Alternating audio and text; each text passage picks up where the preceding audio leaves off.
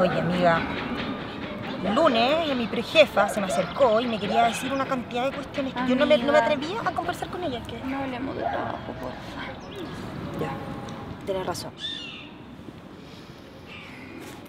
Pero igual, el lunes va a llegar una nueva jefa. ¿Qué? Mira, ¿Qué? esta es una palmera chilena. ¿Ya? ¿Y? Está en extinción. ¿Y tú cómo sabes eso? Porque soy del campo, pues, amiga. ¿Sabes qué significa? No. Que esta palmera nos va a dar mucha suerte. Y el lunes nos va a ir súper bien. Mira, ya hay otra. ¿Cuántas habrán?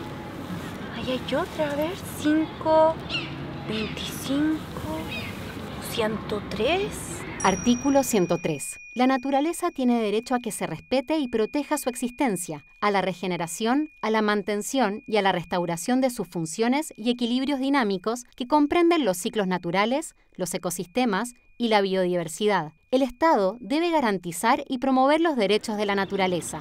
Esto quiere decir que este lugar que da tanta vida no puede ser dañado para el beneficio de algunas personas. Y de ser destruido, debe ser reparado.